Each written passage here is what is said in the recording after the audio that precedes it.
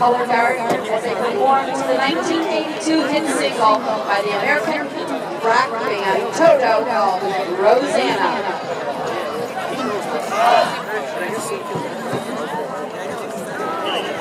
That's the original plan.